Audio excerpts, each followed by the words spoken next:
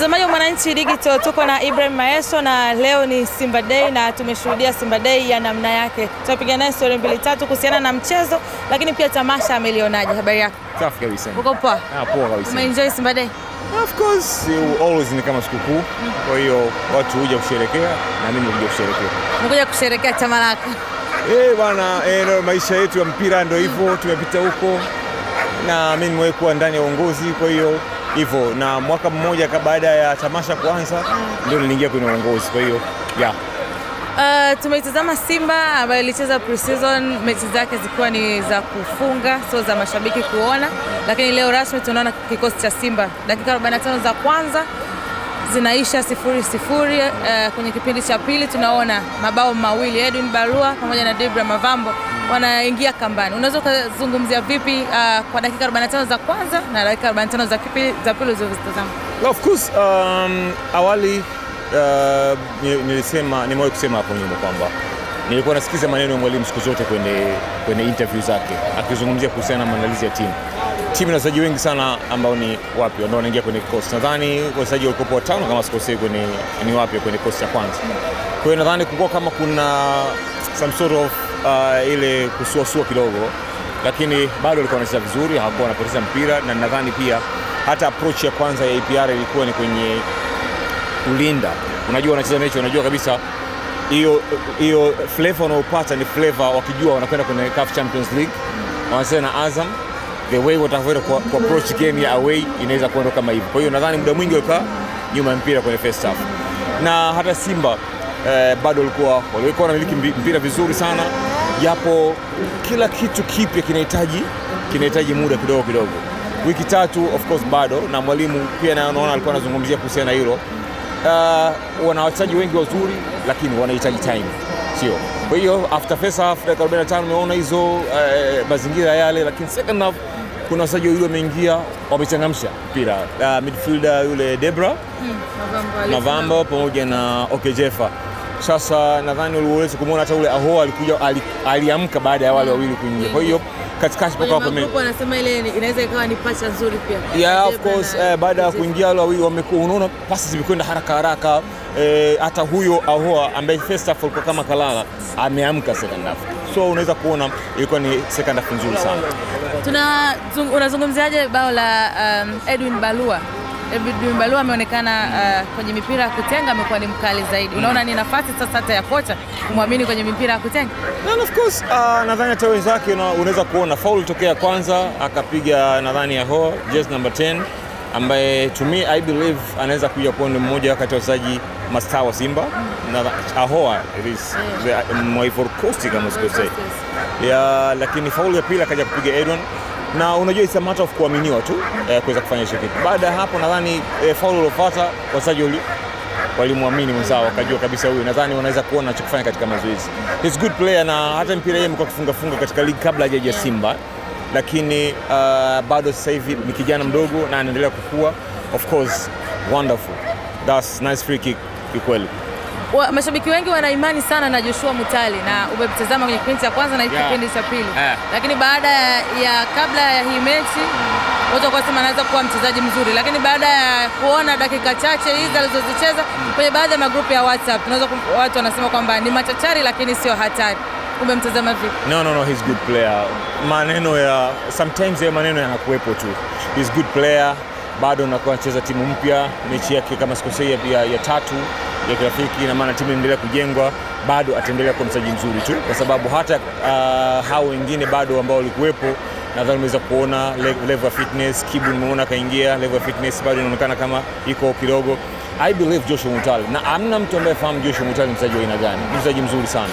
Sometimes mazingira kuadapti, unacheza katika uwanja kama huu nyumbani, kwenye mazingira hayo, unaweza kuona sasa ndo nyumbani sasa. Hii hii ndo yani, atmosphere ni kubwa sana kiukweli. Kuna vitu vingi sana vya kuadapt, unaelewa eh?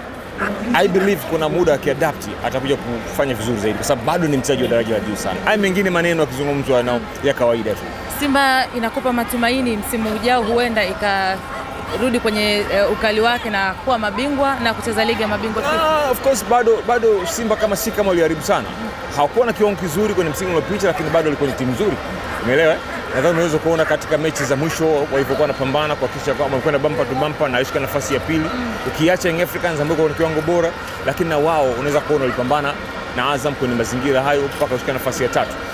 Uh, ni mapema kusema naenda kuwa bingwa wa, wa, wa ligi, lakini wamesajili timu nzuri, unasajili wazuri, they need time, lakini uh, wakati mwingine uhitaji kuwa na na, na, na, na, na kitu kikubwa sana kuweza kutafakari kuhusiana na jinsi ligi inavyokwenda.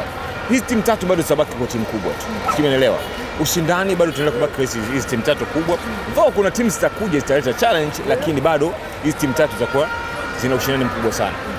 Usajili kama unavyozungumzia ni mkubwa, ni mzuri. Nadhani unaweza kuona mpaka dakika ya mwisho, mpaka hivi leo unavyokwambia, timu bado zinafanya mabadiliko.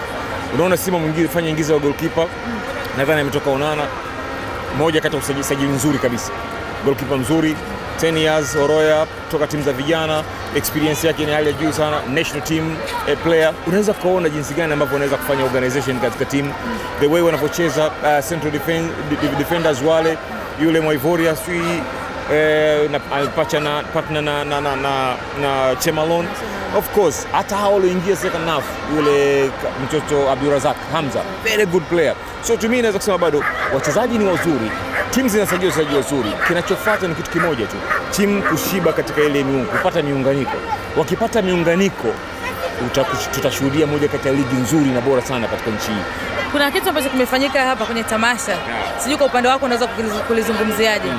Kimetangazwa kikosi na uh, MC ambaye alikuwa ni msemaji wa uh, wa Simba akasema kwamba hiki ndio kikosi cha Simba 2024 2025, lakini baadaye akaja kusema kwamba ah, tulimsahau Aishi Manula. Hii kwako unaweza kuizungumzia vipi? Na tumeona ambaye anatajwa kuwa meneja wa Aishi Manula, Jemedari Saidi, ameandika waraka mrefu sana akilalamika kwamba eh, Simba wanamwonea Aishi Manula. Kwako liko na mimi nishalizungumza muda mrefu sana kuhusu Aishi. What I believe and what I know, Aishi aliomba kuondoka Simba si muda mrefu, na ameomba kuondoka kama uche, kutoka kwa mkopo, Simba imtoe kwa mkopo kwenda sehemu nyingine, ambacho nafahamu mimi, lakini nadhani kuko kuna msigano kidogo ndani ya Simba, aondoke asiondoke, wengine wanasema abaki. Of course mwenyewe Aishi anajua na mkataba na Simba msimu mmoja, kama na mkataba na Simba msimu mmoja, why hakwenda kwenye pre-season? Simba wanasema kwamba Aishi aliambiwa apeleke passport hapo kupeleka. Of course inawezekana kuna mingi yanazungumzwa hapo, nyuma, nyuma pazia. To me kwenye mazingira ya kawaida inawezekana mchezaji ameshaona hali uh, iliyokuwa imetokea katika season iliyopita. He's not uh, nasema yeye na, na saidi aliyokuwa nayo anaona kama hali imeshakuwa sio sio nzuri, labda nitafute nafasi mazingira mengine katika nikacheze mwingine. So unapokuja unaomba jamani, mi naombeni, ina maana kufikiriwa ni, ni, ni sahihi, lakini kwa hiki kilicho- kilichotokea leo, of course hata mimi si sijakipenda. Hakuwepo kwenye pre-season, sawa, unamwacha humwachi, hujui unamwacha humwachi, hujatangaza kumwacha, is there au hayupo, kazi yake ni football, simeelewa. So to me uh, sometimes tunazungumza kama ni opinions, lakini kiukweli kama kuna possibility, there's no need. Aishi ni national team player uh, we need him kwenye national team. Hawezi kucheza Simba, basi akacheze timu nyingine. We believe and we respect, we respect ana mkataba na Simba, fine for the sake of football ya nchi. Why? Sio, give him chance. Kama unaona ushasajili magolkipa wanne unao, mwache mpe nafasi ende zake akacheze sehemu nyingine, simeelewa. Je, kuna kukomoana au kuna nini? To me this is my club, lakini no, no, no, no, no, no, no. Lakini Mr. Yeah. Ibrahim